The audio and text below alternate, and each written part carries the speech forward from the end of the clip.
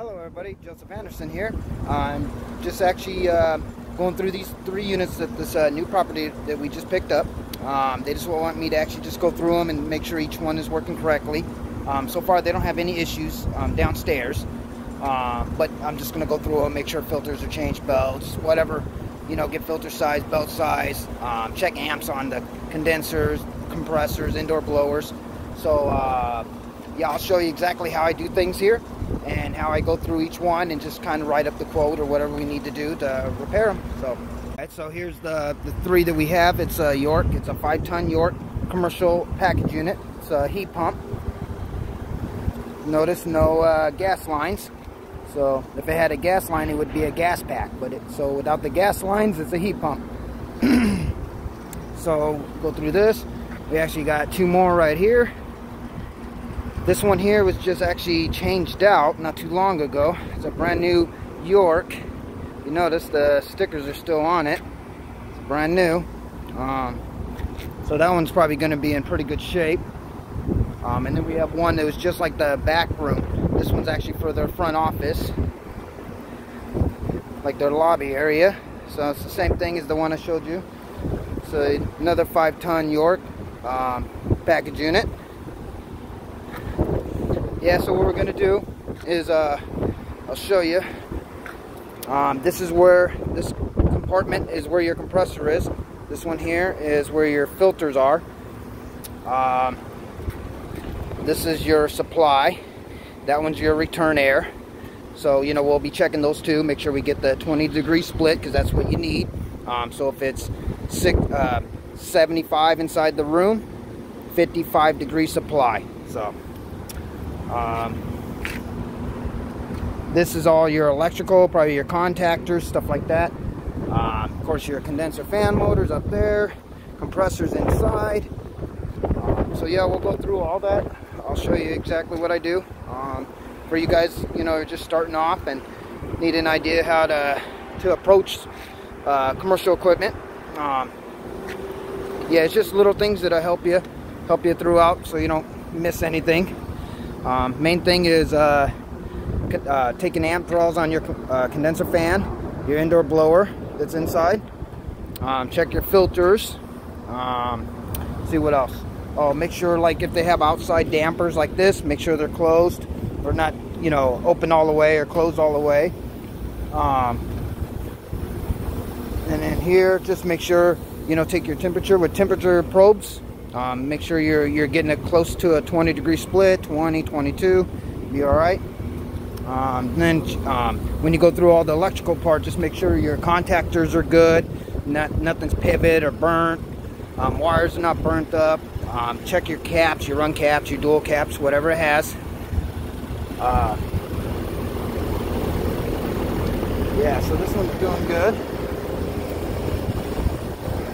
It's actually running. Alright. So, let's see here. I always do this test. Make sure your fans are spinning the right direction. If they're spinning out, that means they're rejecting heat. So if, so I always do the glove glove method. So if it's pushing it up, like it's doing, see? Pushing it up. So then you know it's uh, spinning the right direction. If it sucks it down, sucks it down, that means it's going in the wrong direction. So you have to change the rotation. Rotation is if you, I don't know if you can wires right here that are just plug-ins and you just switch the two and that's all you have to do. Um, I'll actually show, show that to you once I uh, shut this thing down. I'll show you the wires and how you go, go ahead and switch the rotation of your fans. But yeah this one's doing okay.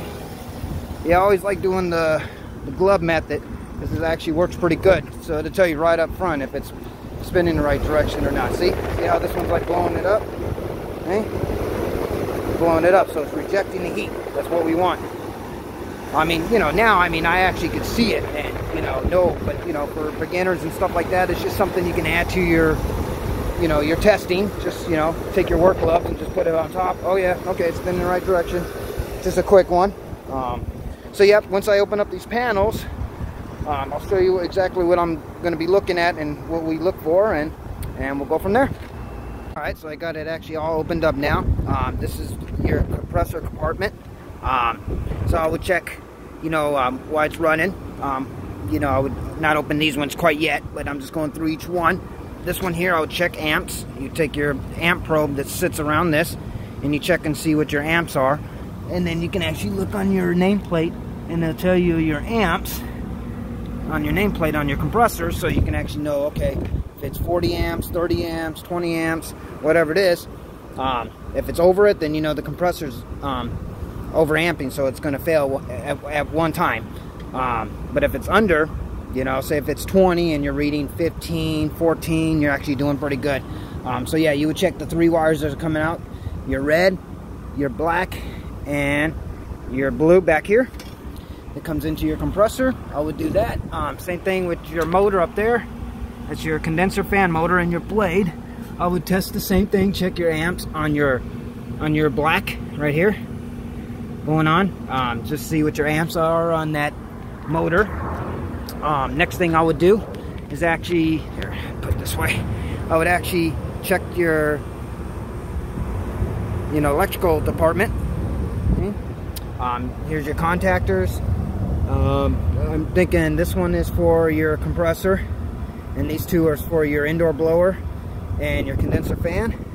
And then you got your transformer, you got a control board back there, um, you got a terminal block there for all your um, that's where your thermostat all ties in. Your red is for your power, your 24 volts. The yellow is your cooling. The G is your green, so that's your fan. And then you have, what else you got here? Oh, okay. Um, you got O, that's your reversing valve.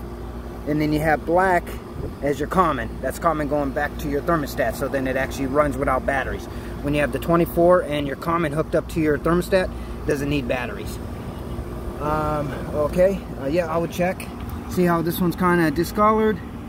I would probably write it up as a uh, concern, but not something that needs to be done right away, but just for future stuff. Um, check the colors of it. If it's, uh, see how it's kind of gold, but if you looked inside and it was black in there, like it was getting hot or getting burnt, then you may want to go ahead and change that out.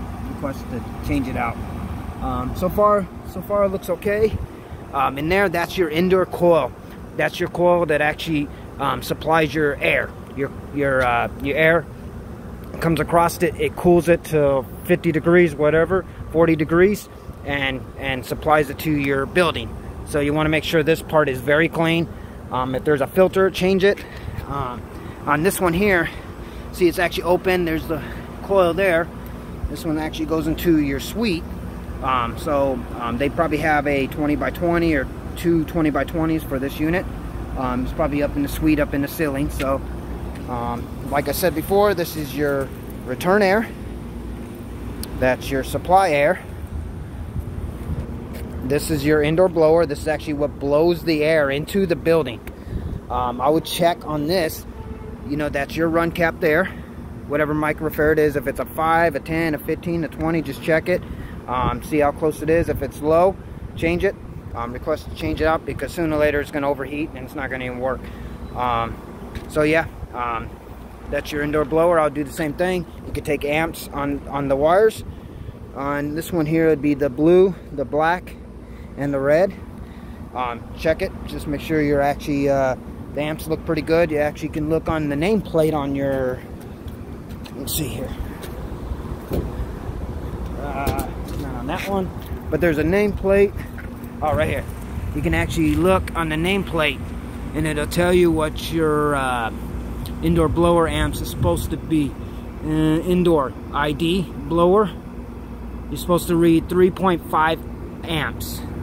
If you notice, 3.5 amps. That's for your ID blow. So that's an indoor blower. And the bottom one is OD. That's your outdoor fan. So that your outdoor fan is your condenser fan. So do the same thing on that one too. Check amps.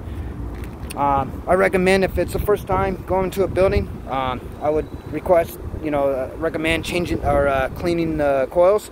This is your condenser coil. So it's very important if this thing's plugged in any way and it can't reject the heat right, this is going to overheat the compressor and shut it off.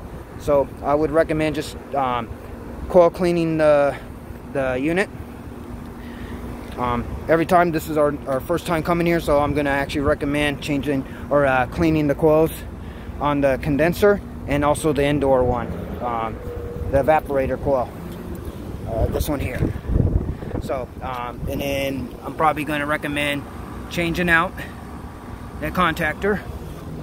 And also too, I noticed when this was running that that motor was getting extreme, extremely hot. Um, so I was going to take amps on it, but that's another thing I'm going to actually uh, have replaced. Um, recommend replacing that. And also too, if you notice, let me see. You can see it. Somebody actually uh, wire nutted it right there together. So that's a sign that either it, it broke or got caught or something with the fan. So um, I'm going to recommend just changing it out completely and the cap to go with it. Um, it's probably a 5 or something. I got to look. Um, but yeah, see how it's wire nutted down there, the orange one? Yeah, it looks like somebody's been tampering with this thing. So, And it's actually running really hot. When it's, Once I touched it, I was like, oh man, yeah, it's extremely hot. So yeah, I'm to actually um, recommend changing that out. So, that's pretty much what I would do. Um, check your pressures. Um, this is your high and your low, so your red and your blue. Just check your pressures. Make sure your pressures look fine. Um, outdoor temp to, you know, you got to remember we're looking for a, uh, this is, I believe, let me see. Show what refrigerant this is. This is, where are you at? Oh, R22. If you notice right there, R22 takes 10 pounds of R22. So on your gauges, you would check R22. Um, remember, it's going to be, your pressures are going to be your low side about 65, your high side about 250. Um, you wanted um, a 40 degree evap temp on there. So wherever that 65 line is, where the gauge is, you're going to see 40. Um, so you got to have 40, 40 degree evap temp on there. Um, yeah, I'll just pretty much, yeah, just clean the inside of these coils. Make them look good. Um, maybe glue down these pads right here so then it's not flapping or actually cover up the hole. Um, yeah, like I said, clean the indoor coil, the outdoor coil. Um, once I get all this buttoned up, I'm going to check the supply on this and everything. Um, check, yeah, like I said, check amps on your indoor your outdoor and that's pretty much it. Um, you know you should be able to tell um, exactly what's working and what's not.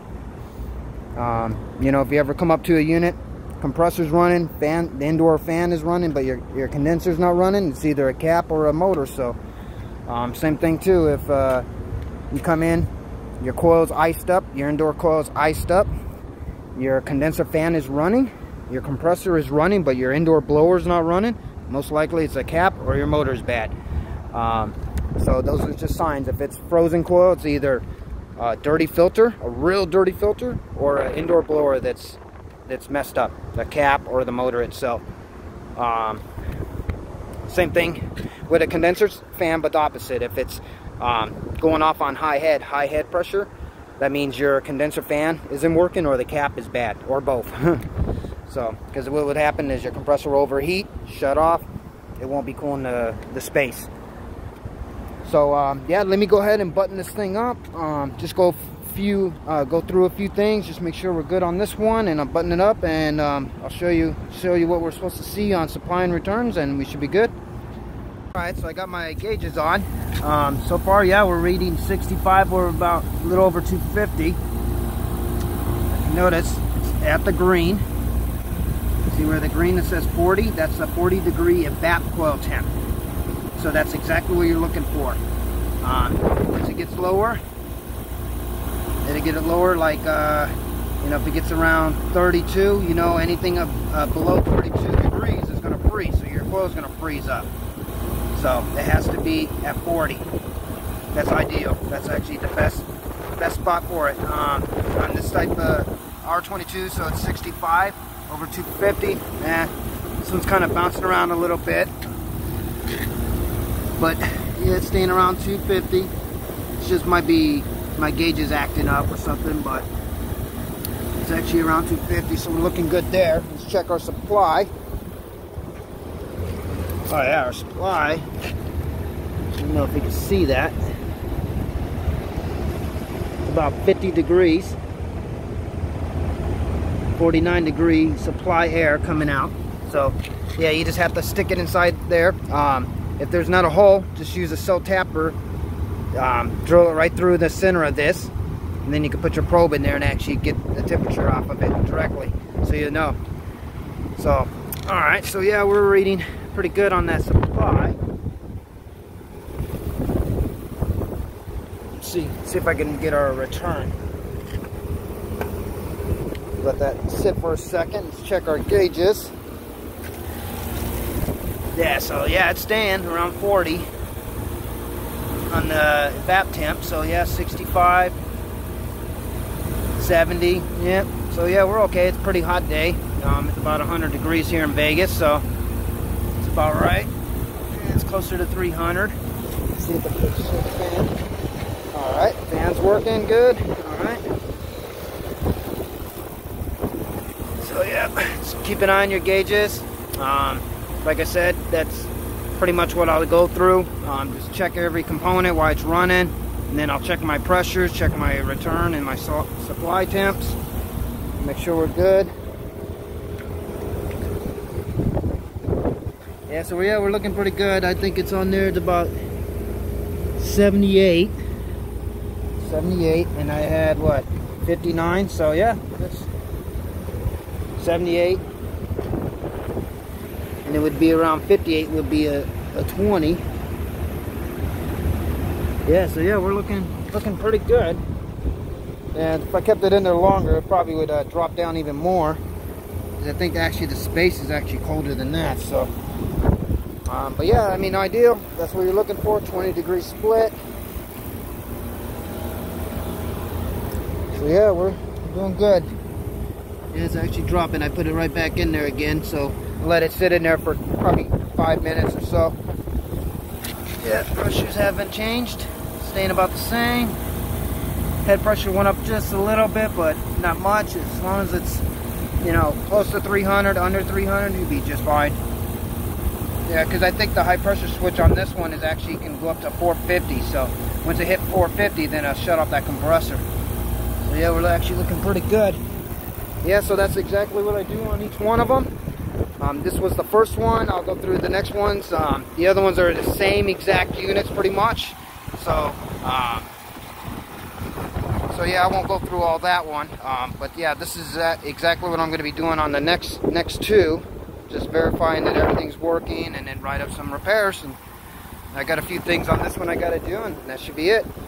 So that should be it for today on this one. I'm um, just going to continue going through the other two just like I did on this one. and um, write up what I need to write up, and that's about it. So um, if you have any comments or questions, please leave at the bottom in my comment section, and subscribe to my channel. Thanks, guys, for watching. Bye.